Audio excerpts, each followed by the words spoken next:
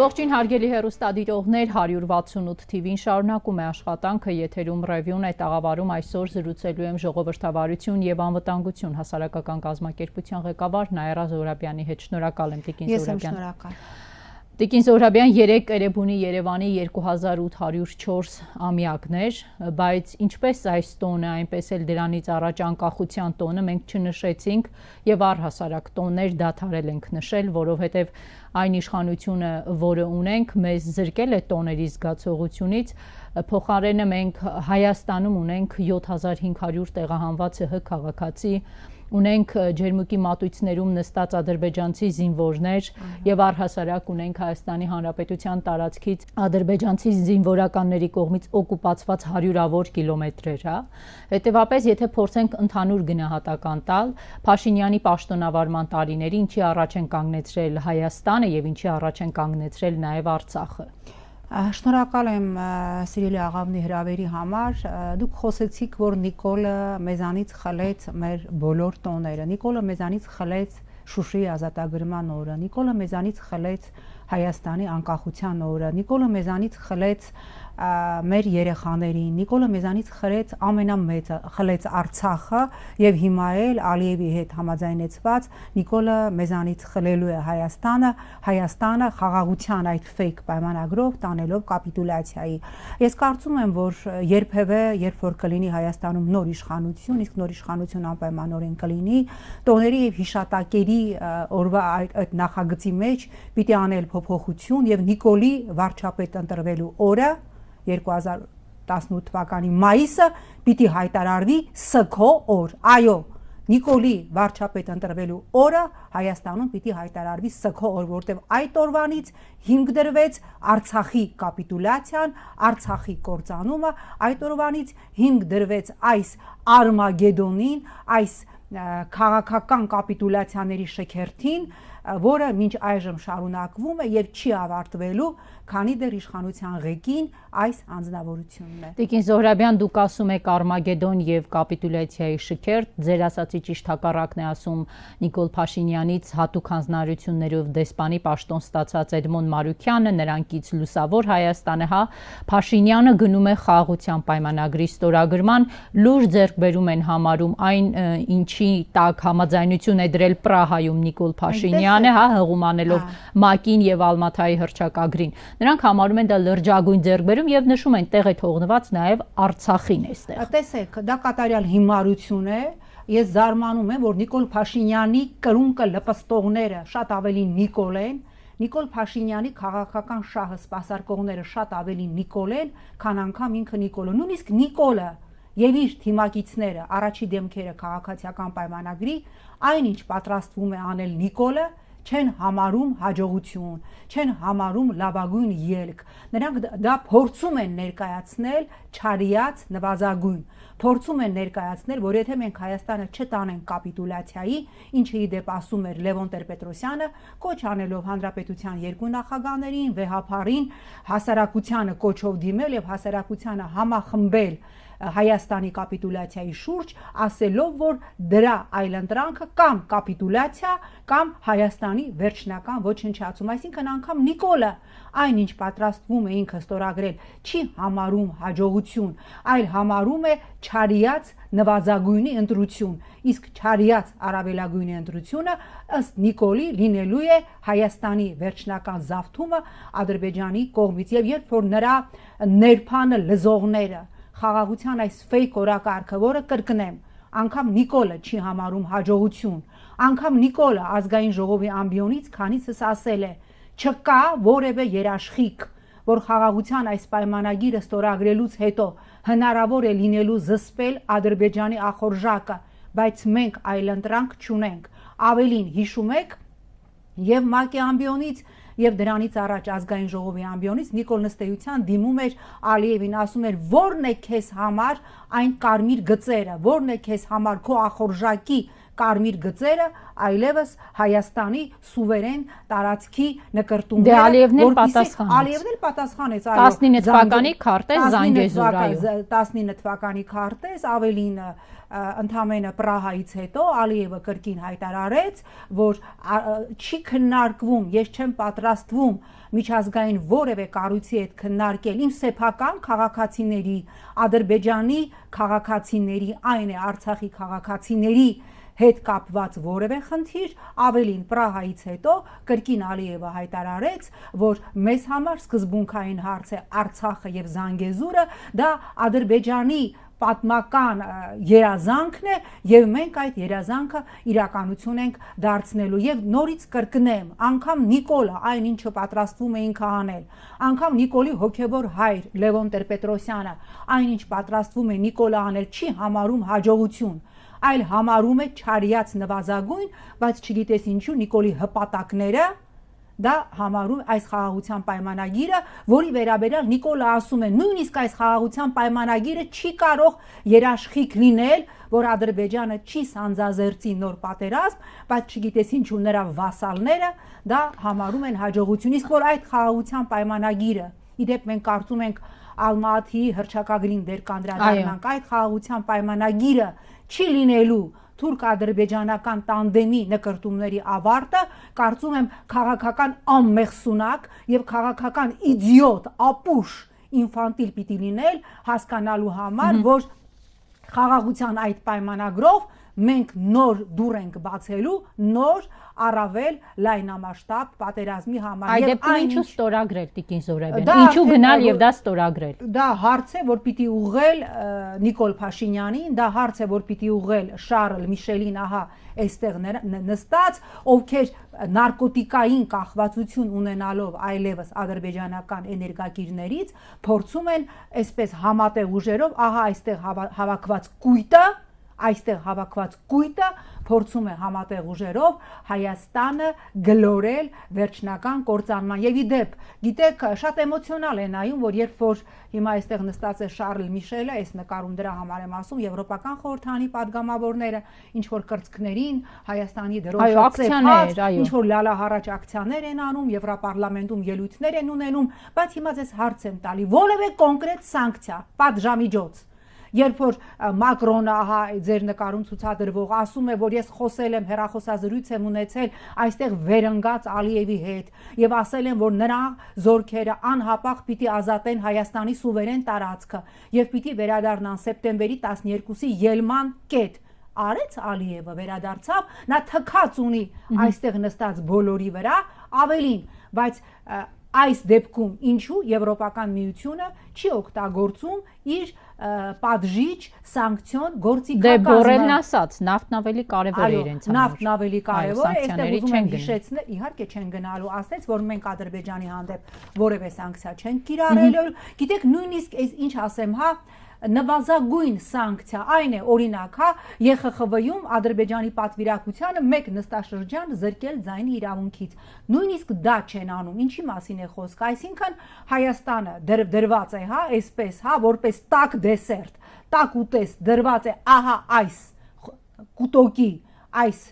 կույտի սեղանին եւ հիմա այս պահին գնում է Հայաստանի ամպուտացիայի, Հայաստանի մաստատման գործընթաց, միջազգային հանրության բուրըն ծափահարությունների եւ մարդու իրավունքների խախտումների հանդեպ միջազգային հանրության լրության պայմանները։ Տիկին Զոհրաբյան, եթե Մակրոնն ու Միշելը օրինակ չեն հետաքրքրվում, որ ադրբեջանական զորքերը այստեղ են, նրանք իրենց շահը ունեն, բայց ինքը Փաշինյանը գնում է ՄԱԿ-ի կանոնադրությանն է հղումանում, Ալմատի հրճակագրին է հղումանում եւ որևէ տող չկա այն մասին, որ Ադրբեջանի հետ խաղաղության պայմանագիր կստորագրվի, եթե ադրբեջանական զորքը դուրս գա Հայաստանի տարածքից։ Ինչ ուզենք Մակրոնից, Միշելից, եթե դա չի անում Փաշինյանը Ես համաձայն եմ ձեզ հետ, որտեղ երբ որ այդ ռաբիզ ակցիայից հետո, հա, լալա հարաճ, միգուցե էմոցիոնալ, բայց ինքը իրականում անպտուղ եւ անիմաստ ակցիայից հետո ես խոսեցի եվրոպական պարլամենտի իմ գործընկերների հետ, իրենք ասում են, իսկ դուք ինչ եք ուզում մեզանից, եթե ձեր երկրի վարչապետը համաձայնում է սпасարկել թուրք-ադրբեջանական օրակարգ։ Այսօր թուրք-ադրբեջանական տանդեմը Հայաստանում ի դեմս Նիկոլ Փաշինյանի ունի ամենամեծ թիվ մեծ անփոխարինելի գործակալը։ Այո, մենք իրավունք չունենք միջազգային հանրության օրակարգի սեղանին դնել մեր օրակարգը միջ այն պահը, երբ որ Հայաստանի իշխանությունը հրաժարվում է սпасարկել Հայաստանի օրակարգը, եթե նախքին հաջողակ DJ, ներկայումս չգիտես ինչպես քաղաքական դեմ դարձած Էդուարդ Աղաջանովը կարող է հայտարարել, որ 44 օրյա պատերազմից հետո Հայաստան այլևս չի կարող ապահովել Արցախի բնակիչների անվտանգությունը, այսինքն ասում է, որ մենք ասել ենք, որ եթե հիմա Ադրբեջանը Արցախում էթնիկ զտումներ եւ ցեղասպանություն իրականացնի, մենք ասել ենք, որ մեր իշխանությունը այլևս չի կարող ապահովել Արցախի բնակիչների անվտանգությունը եւ իրենց հողում ազատ ապրելու իրենց իրավունքը, այսինքն ասում է, որ եթե մորթվեք, մեղավորը դուք եք, իսկ հիշում եք Նիկոլ Փաշինյանի ելույթը, երբ որ ինքը ընտրվում էր վարչապետ, ինքը խոսում էր Արցախի ինքնորոշումից, ինքը խոսում էր Արցախի միջազգային Ինքը ընդունել է կառավարության ծրագիր դրան հղում անելով։ Ծրագիր, որտեղ դրել է իր կողմից ասում էր Սերժ Սարգսյանը կապիտուլյացիոն փաստաթուղթ է թողել 18 թվականին իմ սեղանին եւ գնացել է, բայց այդ կապիտուլյացիոն փաստաթուղթը, որին կարծում եմ մենք դեռ կանդրադառնանք, որը լավագույն բանակցային փաթեթն էր, որ Սերժ Սարգսյանը թողել է այդ կապիտուլյանտի սեղանին, իդեպ որին Կազանյան փաստաթղթին, որի հիմքում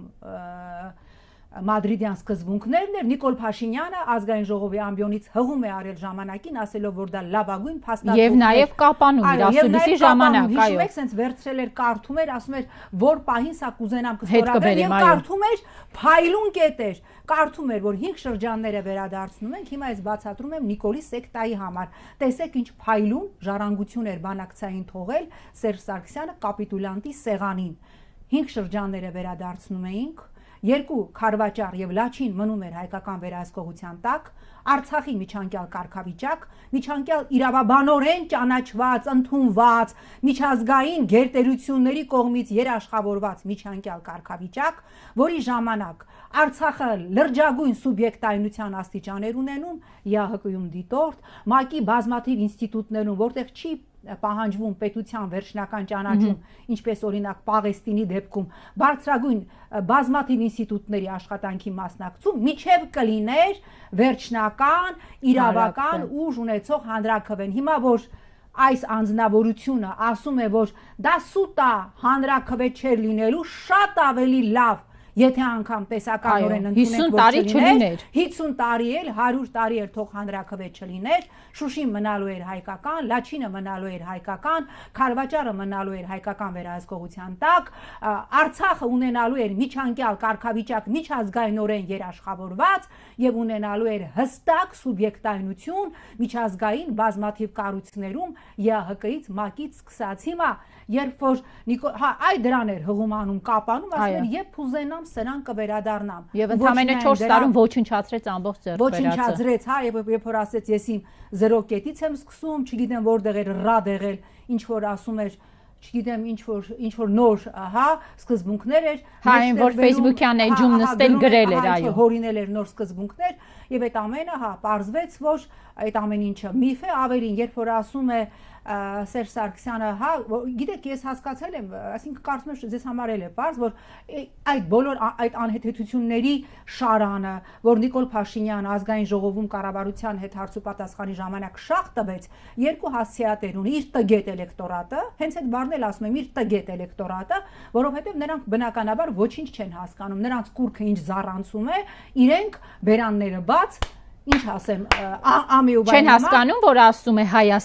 Ոչ, չեն հասկանում։ Ադրբեջանի կազմում, եւ դա լեզվի սայթակում չէ։ Ոչ, չեն հասկանում, հավատացեք ինձ, չեն հասկանում։ Ինչ դուրս է գալիս սրա բերանից, նրանք չեն հասկանում, նրանք չեն ընկալում եւ երկու հասցեատեր ուներ, ասել որ այս սեկտանիր, որ Սերժ Սարգսյանը իմ սեղանին թողել է կապիտուլյացիա եւ այդ նույն բանն է, չէ, նախկինները գցեցին այս հարիֆի գրպանը եւ իդեպ այնքան իրենց քարոշչական թիմը այնքան տգետ է, որ այդ իրենց թվում է, որ դա շատ օգուտ է, էլի, որ ասենք իր սեկտայի ներկայացուցիչների հետ հարցումներ են անում փողոցում եւ ասում են խեղճ, տախմար, հայվան հարիֆը այդ բարերով։ Ինչ անի բերեցին Սերժն ու Ռոբերտը գցեցին այս հայվան հարիֆի գրպանը եւ դա տալիս են իրենց կոնտրոլի տակ գտնվող կայքերով մտածելով դե ինչքան էպիտետները հայվան, տգետ, անասուն, ոչխար, հարիվ շատ լինի, այնքան սեկտան որ իրենց դա է ներկայացնում։ Իհարկե, այնքան սեկտան կասի դե հարիֆ է, էլի հիմա հայվանա, բայց հարիֆ է։ Հասկանում եք, չեն հասկանում, որ ի վերջո խոսքը երկրի ղեկավարի մասին Ինչ վերաբերում է Սերժ Սարգսյանի սեղանին թողած, ընդունենք, որ հա իր սեկտայի տեսանկյունից կապիտուլյացիոն փաստաթուղթ էր թողել։ Բա ինչի, երբ որ ինքը գրոհել էր արդեն որ ընտրվեց վարչապետ իր քայլիկների հետ հիշում եք, չէ՞, նույնիսկ Զուքարանը, հա,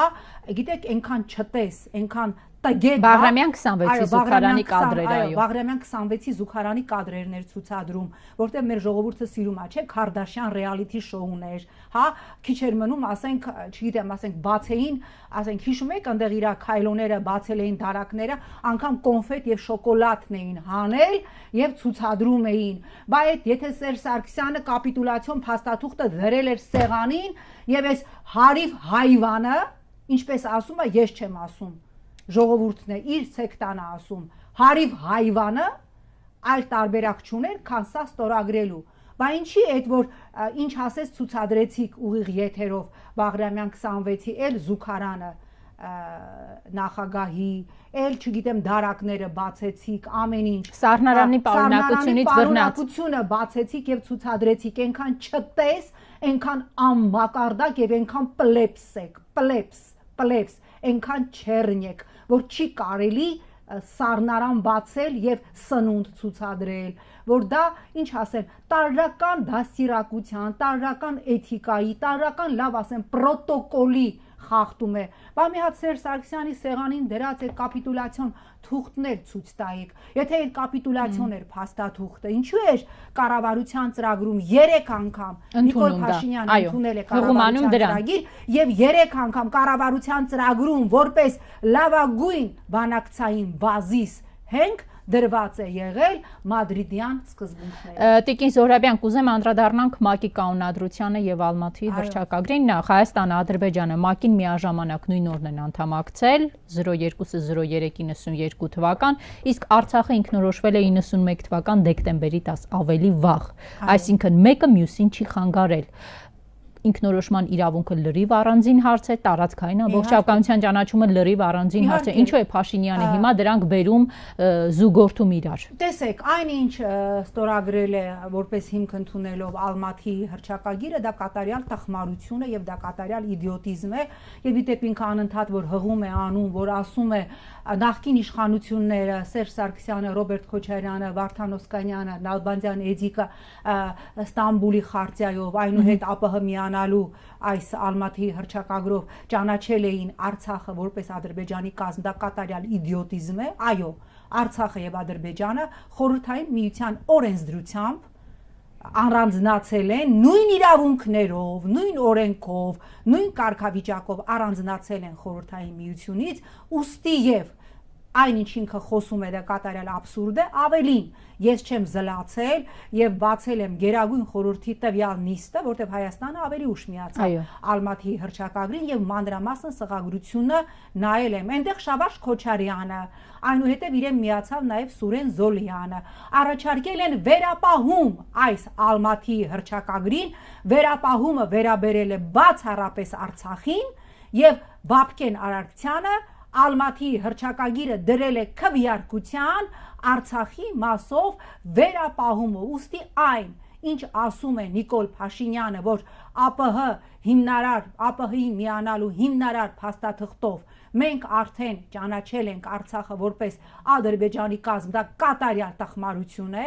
ավելին նստած էր Պուտինը, Սերժ Սարգսյանը, Նազարբաևը։ Նազարբաևը ընթերցեց քվյարկությունից առաջ Ալիևի ուղարկած նամակը բոլոր մասնակիցներին, որտեղ մի քանի հարց էր ուղված Սերժ Սարգսյանին, հարց առաջին.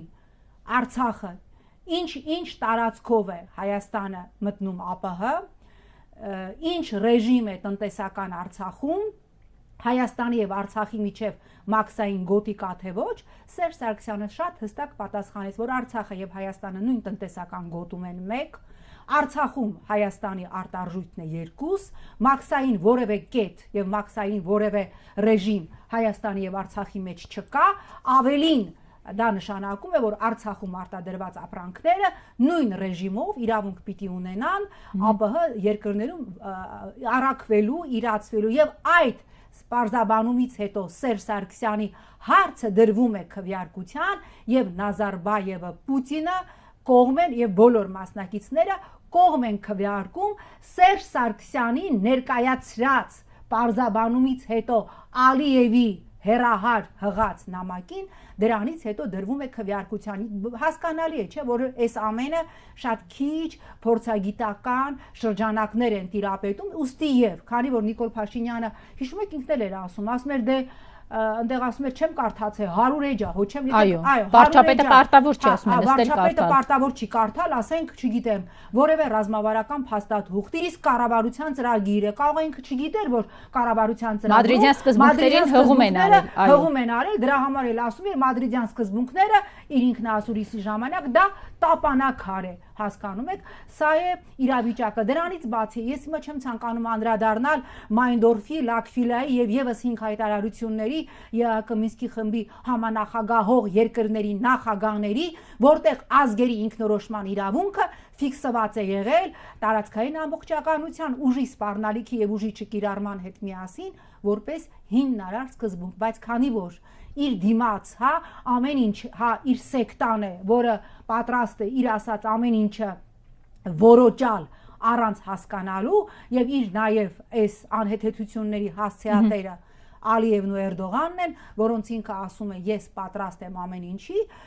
հասարակության հանուն ինչի հանուն պաշտոնի միայն հանուն իշխանությունը պահելու, հանուն այն խոստումների, որ ինքը տվել է Բրյուսելում, Մոսկվայում եւ խճճվել է իր սեփական, ինչպես ասում էր նաեւ Ալիևը, բացի գրավոր պայմանավորվածություններից, մենք Փաշինյանի հետ ունենք բանավոր, բանավոր պայմանավորվածություններ, ինքը խճճվել է իր տված բանավոր, գրավոր խոստումների սարդոստայնում, որովհետեւ այսօր այն, ինչ պահանջում է Ալիևը, շատ ավելին է, քան նույնիսկ այն նվաստացուցիչ կապիտուլյացիոն հուշագիրը, համաձայնագիրը, որը ստորագրվել է 2020 թվականի նոյեմբերի 9-ի եւ իդեպ նոյեմբերի 9-ը ասեցինք հիշեցի եվրոպացի իմ գործընկերներ ինձ մի հերթական նվաստացուցիչ տեղեկատվությունը փոխանցեցին, ասեցին, որ Ալիև ամեն ինչ անում է, որ այս նոր խաղաղության պայմանագիրը եւս ստորագրվի նոյեմբերի 9-ին, հա իր համար զնակովի նիշային օր է նոյեմբերի 9-ը, Նիկոլ Փաշինյանը խնդրել է, հա,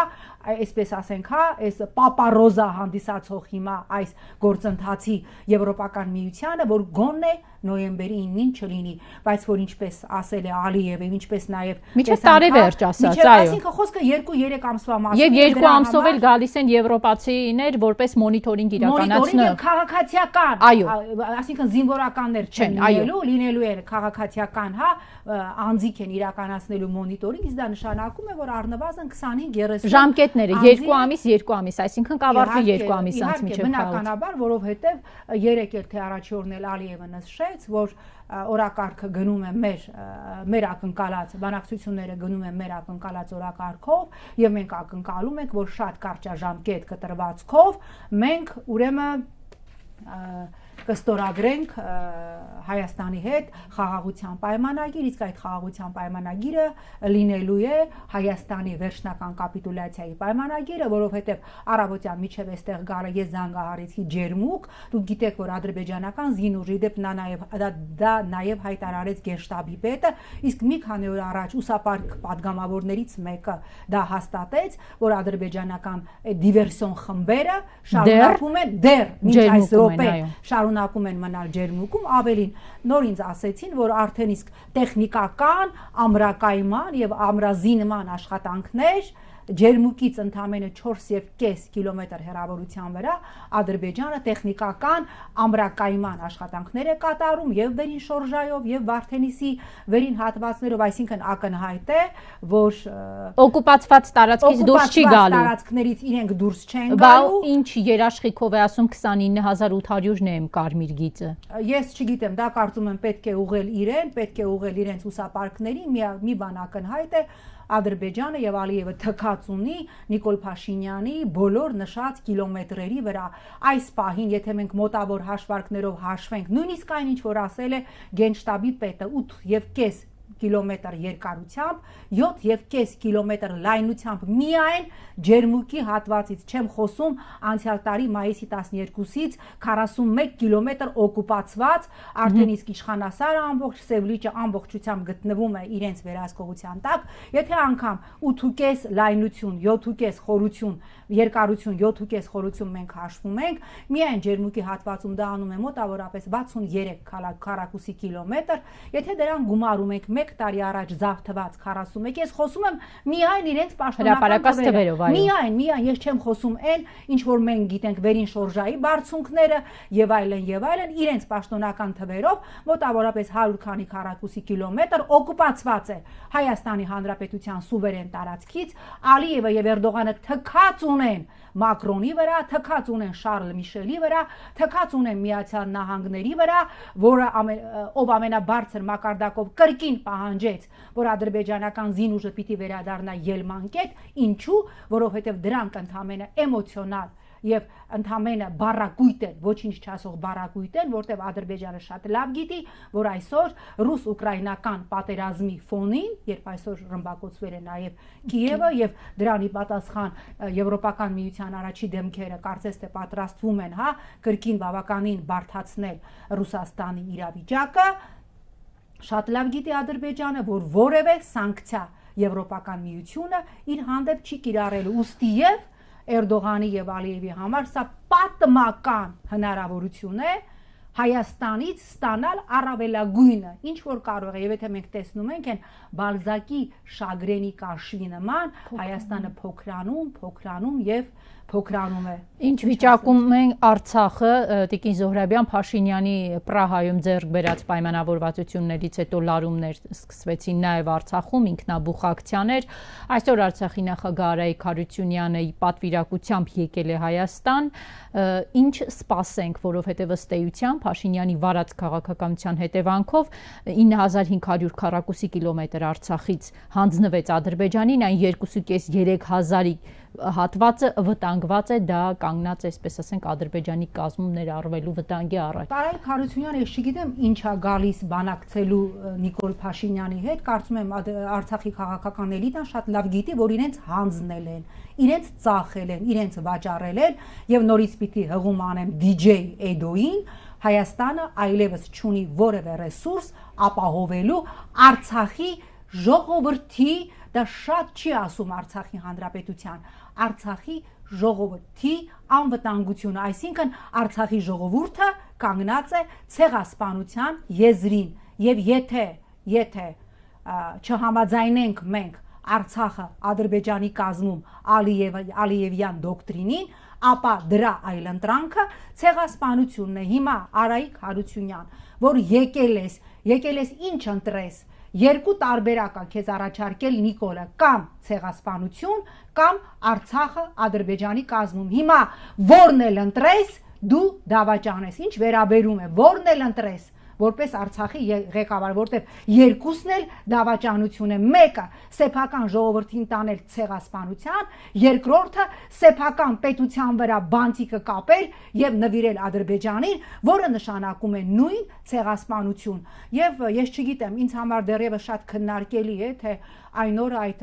հուսամ որ այդ հավաքը ինքնաբուխ էր եւ դրա հետևում ինչ որ ուժեր նաեւ ինչ որ ականջներ Հայաստանից եւ Արցախ տեղափոխված ինչ որ լեգիոներներից Ռուբեն Վարդանյանի անունը այո կապվում էր Ես չգիտեմ ես երբ այս պահին ես ճունեմ փաստեր ես իմ հույսը որ այս նոր զարթոնքը Հայաստանի փրկության, այն ժամա կսկսվի Արցախից, այո, իմ հույսը այն է, որ որովհետև շատ པարզ բանաձև կա, հանձնեցինք Արցախը, հանձնվելու է Հայաստանը, եւ ես հույս ունեմ, որ այս պահին Արցախում ապրում է 120-130 հա, գուցեև 140 հազար մեր հայրենակիցներ, ես ուզում եմ հուսալ, որ այն սև կարապը, հա, որտեղ մենք հիմա մեր հույսը դրել ենք, հա, սև կարապի, այսինքն այն անսպասելիության գործոնի, անսպասելիության էֆեկտի վրա։ Իհարկե շատ դեպքերում ես հասկանում եմ, որ եթե մենք հիմա սպասենք սև կարապի, դա կարող է վերածվել գոդոյի, որը այդպես էլ կարող է չգալ, հասկանում եք, բայց իմ հույսը, որ այդ սև կարապը բռնկվելու է Արցախից եւ ես ինձ համար բացարձական հասկանալի է, թե Արայիկ Հարությունյանը ինչ է քննարկելու Նիկոլ Փաշինյանի հետ։ Նա երկու բան է ձեզ առաջարկելու, կամ ցեղասպանություն, կամ Արցախը Ադրբեջանի կազմում։ Որն էլ ընտրեք, դուք դավաճանեք։ Արդյոք Սև Կարապին է սպասում խորհրդարանական ընդդիմություն, այն ընդդիմությունը, որը երկու եւ ավել ամիս փողոցում անցկացրեց Արցախը եւ Հայաստանը փրկելու կոչերով վերջնարդյունքին չհասավ, եւ այն ընդդիմությունը, որը հիմա ոչ խորհրդարանում է, ոչ փողոցում։ Փոխարենը իրենք լավ գնում են գործուղումների։ Այո։ Ես նայեցի խորհրդարանական ընդդիմության գործուղումների ցանկը, Ռուանդա եւ այլն եւ այլն, այսինքն գնում են Ռուանդա, խորհրդարանական ընդդիմություն առանց անհարմար զգալու, որ երևի Հայաստանի եւ Արցախի ճակատագիրը որոշեն։ Գիտեք, ես հիմա չեմ խոսելու խորհրդարանական ընդդիմության մասին շատ, որովհետեւ եթե ինչ որ ակնկալիք է սպահին կա, դա այս պահին ինստիտուցիոնալ այն է խորհրդարանական ընդդիմությունից է այլ ուժ այս պահին հարթակում հա, այդ որ գա երկնքից պարաշուտով հա երրորդ ուժ նոր ձև դա դա անլուրջ խոսակցություն է բայց երբ որ խորհրդանական ամենամեծ խմբակցության ղեկավարին պարոն Օհանյան անկեղծ մեծագույն հարգանքով ձեր հանդեպ երբ որ լրագրողը Պրահայից հետո ձեզ հարց է ուղում եւ դուք ասում եք տեղյակ չեմ չեմ ծանոթացել Ձեր այդ պատասխանը ինձ համար ուղակի շոկային է։ Դուք որպես պաշտպանության նախկին նախարար, ես չեմ ասում, որպես ամենամեծ ընդդիմության խորհրդանական ղեկավար, Դուք առաջինը, դուք մեզանից բոլորից շուտ պիտի իմանայիք ինչ է կատարվում։ Եվ այո, այո, խորհրդանական ընդդիմությունը խորհրդանում չէ, դրսում չէ, փոխարենը ես նայեցի գործողումների ցանկը, իրանք շատ ակտիվ մեկնում են գործողումների, շատ էկզոտիկ երկրներ, ինձ համար սա հասկանալի չէ, բայց այս պահին ես այսքանով կբավարարվեմ խոսել խորհրդանական ընդդիմության մասին, մենք ժամանակ չունենք։ Այստեղ համաձայն եմ Արմեն Աշոտյանի հետ։ Մենք ունենք 1 ամիս, լավագույն դեպքում 1 ամիս կամ մեկ կամ կանգնեցնում ենք այս ազգակործան կապիտուլյանտ պատուհասին կամ ուրեմն Հայաստանը այդ խաղաղության պայմանագիր գծիկ կապիտուլյացիոն պայմանագրով գնում է վերջնական կործանման։ Հուսանք ձեր ասած երկրորդ կամը չի լինի, շնորհակալ եմ։ Հարգելի հերոստադիտողներ, հիշեցնեմ 168 TV եթերում ես զրուցում էի Նայրա Զոհրաբյանի հետ, ցտեսություն։